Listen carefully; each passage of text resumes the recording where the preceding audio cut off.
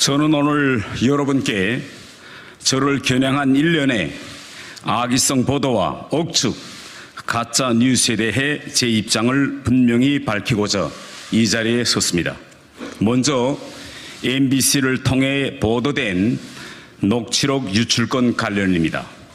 이번 사건의 본질은 보좌진 전체가 참석한 회의에서 제가 전당대회에서 최고위원에 당선되었음에도 공천에 대해 걱정하는 보좌진을 안심시키고 최고위원으로서의 활동 중심을 윤석열 정부의 성공에 전념하도록 동료하는 차원에서 나온 발언을 회의 참석자 중 누군가가 녹음하여 불순한 의도로 유출한 것입니다. 다시 한번 이진복 대통령실 정무수석관은 최고위원 발언 방향이나 공천에 대해 그 어떤 대화도 나누지 않았다는 점을 분명히 밝힙니다. 오늘 노켓 뉴스에서는 제가 쪼개기 후원을 받았다며 지방선거 공천 뒷거래 의혹까지 제기하였습니다. 너무나도 황당하여 말이 나가지 않습니다. 후원금 모금과 관련하여서는 단 하나의 오점이 없이 당당하다는 것을 이 자리에서 밝힙니다. 시, 구 의원들의 후원은 쪼개기에 해당하지도 않으며 시, 구 의원들이 언론에 자발적으로 후원한 것이라고 밝혔습니다.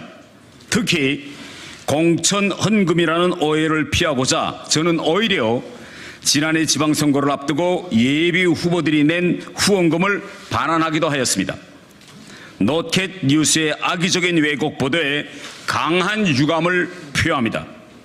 저는 태영호 TV 유튜브 채널을 통해 다수 소액의 원칙에서 매해 1억 5천만 원의 후원금을 미달한 적이 없었고 수천 명의 후원자들은 제가 한 번도 본 적이 없는 전국에 계시는 소액 후원자들입니다.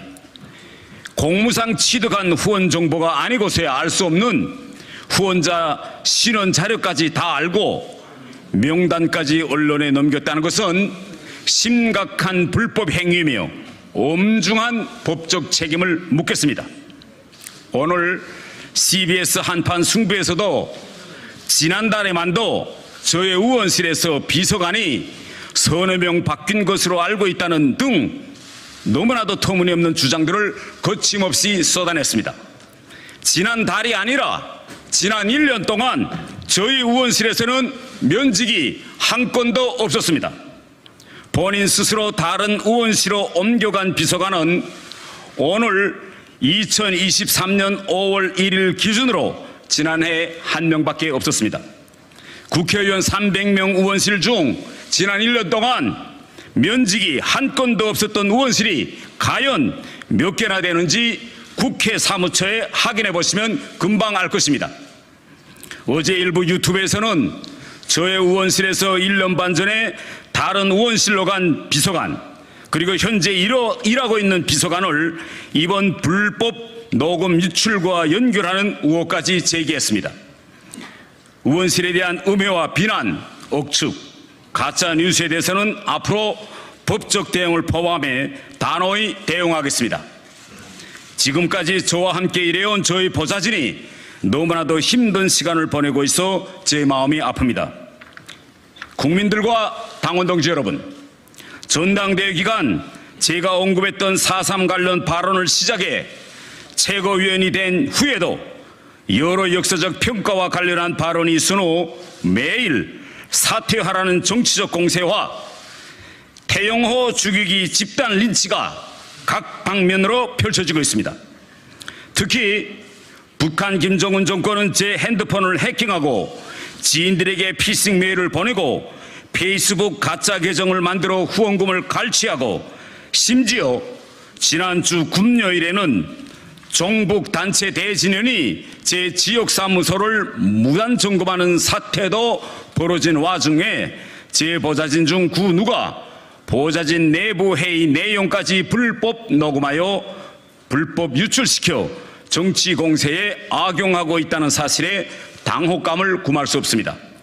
앞으로 저를 정치권에서 퇴출시키려는 우매성 정치 공세와 마쿠 작전, 가짜 뉴스는 더 많이 나올 것이고 태영호 죽이기는 더욱 거세질 것입니다. 저의 모든 신상도 탈탈 털 것입니다. 그러나 저는 절대 굴복하지 않을 것입니다. 저는 꺾으면 꺾일지언정 굽히지는 않겠습니다. 저는 때리면 때릴수록 더욱 강해지는 강철 같은 정치인이 될 것입니다. 저에게는 김정은 독재 세수 방주들을 무너뜨리고 평화 통일을 이룰 역사적 사명이 있습니다. 앞으로도 오직 제게 주어진 한반도 평화 통일이라는 역사적 사명만을 생각하며 두복두복 나아갈 것입니다.